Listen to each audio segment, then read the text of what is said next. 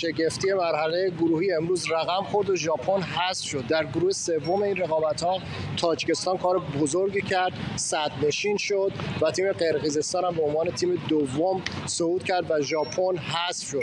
در بازی آخر که ژاپن باید می‌برد دقایقی پیش با تاجیکستان مساوی کرد و نتونست به مرحله بعد صعود کنه. این اتفاق خوبی برای تیم ملی فوتبال ایران چون اگه ژاپن به عنوان تیم دوم صعود می‌کرد و ایران به عنوان تیم اول امشب صعودش قطعی بشه در مرحله حذفی به هم میخوردن و یک از دو تیم حذف می‌شد. ژاپن ما یادمون نمیره که تو دوره قبلی در فینال سه دو ایران برد و قهرمان شد. مدافع عنوان قهرمانی بود.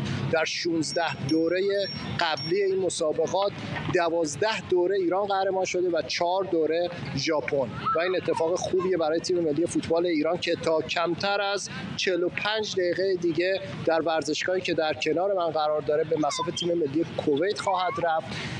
ایران بارها کویت رو شکست داده ولی در این دوره از مسابقات هم در بازی اول مقابل افغانستان و هم در بازی دوم مقابل بحرین تیمایی که جلو ایران بازی می‌کنن با تاکتیک دفاعی میاد و تونستن هر دو تیمی که گفتم در نیمه اول با تاکتیکشون موفق باشن. افغانستان یه نیمه مساوی کرد با ایران و بحرین هم یه نیمه از ایران جلو افتاد و دو یک برد. حالا باید ببینیم کویت چه کار می‌کنه. کویت هم به احتمال زیاد با تاکتیک دفاعی میاد و می‌خواد یه مساوی بگیره تا صعودش رو قطعی کنه. و نکته آخر این که هوادارهای ایرانی دارن آروم آروم به سمت ورزشگاه میان. من بعضیاشون رو دیدم. بعضی از کشورهای مختلف میان. کسایی هستن که از دبی اومدن کسایی هستن که از ژاپن اومدن و امیدوارم امشب تعدادشون زیاد باشه و تیم ملی رو تشویق کنن.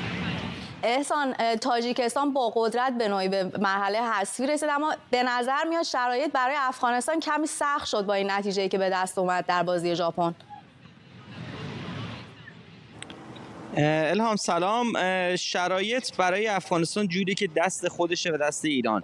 و می‌تونم بگم شاید این حتی روحیه هم بده به این نتیجه ای که تاجیکستان گرفت بتونه روحیه بده به افغانستان. سال گذشته تورنمنت کافا برگزار شد. در اون تورنمنت افغانستان نایب قهرمان شد. ایران قهرمان شد. غیر از اون دو غیر از ایران و افغانستان سه تیم دیگه یعنی ازبکستان قرقیزستان و تاجیکستان که پایین تر از افغانستان قرار گرفتن الان تونستن به یک چهارم نهایی برسن. اگر امشب افغانستان هم بتونه به دور یک چهارم نهایی راه پیدا بکنه پنج تیم از هشت تیم برتر آسیا تیم هایی هستن که در منطقه کافاست که خیلی چیز جالب و عجیبی می‌تونه باشه. داور این بازی خیلی مهمه که خیلی هم پرهاشیه بود ثانی های پایینش. بازی ژاپن و تاجیکستان چند بار اصلا به طرز عجیبی داوره اعلام می‌کردن که مثلا دو ثانیه سه ثانیه بازی ادامه داره. مثلا تو تو وقتگیری مشکل داشتن. داور سوم گلاره نازمی بود و مثل همیشه خیلی مقتدرانه سعی می‌کرد که نیمکت ژاپن رو به ویژه آروم بکنه که خیلی اعتراض داشتن. در هر صورت بازی امشب خیلی بازی حساسیه برای افغانستان.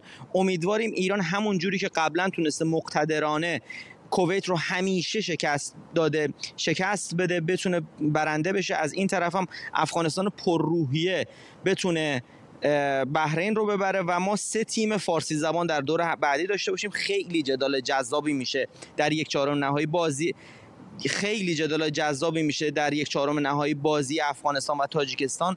از اون طرف هم ایران احتمالا رقیبش قرقیزستان است رقیبی که بارها باهاش بازی کرده. البته که ما سابقه نتیجه ضعیف گرفتن مقابل قرقیزستان رو داریم ولی خب فکر نمی کنم در مسابقات آسیایی بتونن حریف دست و پایگیری برای ما باشن. یادمون نره فقط من یه نکته رو بگم. ژاپن چند تا از لژیونراشو به خودش به این مسابقات نیاورده بود. یکی از دلایل ضعف ژاپن در این مسابقات این بود که چند تا از لژیونرهاشو به همراهش نداشت ما هم ستارمون حسین طیبی رو نداریم. در هر صورت امیدوارم نتایج امشب جوری رقم بخوره که ایران صدرنشین و افغانستان تیم دوم بره بالا. احسان از عرقی که ریختی مشخص هوای تایلند بسیار گرمه. امیدوارم که بازی های امشب برای ایران و افغانستان هم مثل هوای تایلند گرم و جذاب باشه. ممنون از هر دوی شما محسن صالحی و احسان اکبری از بانکوک همراه ما